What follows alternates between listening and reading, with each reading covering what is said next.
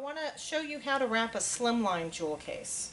The slimline jewel case from the front looks an awful lot like a standard jewel case. You can see the slimline is much thinner.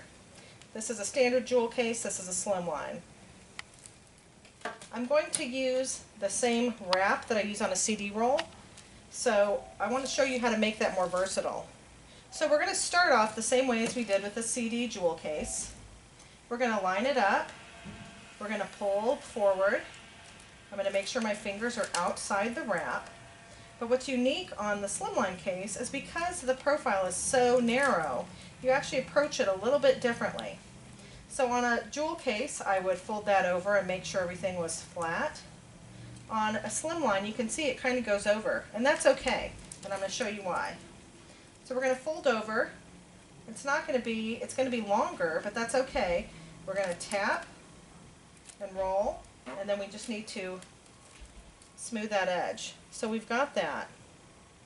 So there's just a tiny bit of overlap right there, but it's a way that we can utilize the same CD size of um, film. Now doing the ends, I like to do the ends, I like to take my case and put it face down before I do the ends. Because this is a narrower case, it's going to fold over a little bit, and I want that fold over to be on the back.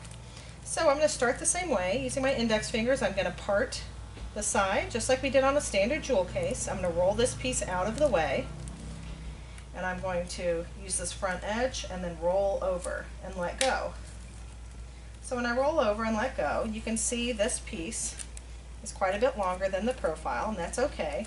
We're going to roll that forward. We're going to tap, roll, and now to make that lay flat, we're just going to smooth it around the corner. And now I've got a nice flat piece we do the other side, we're going to push in, we're going to roll out of the way, we're going to roll that closed,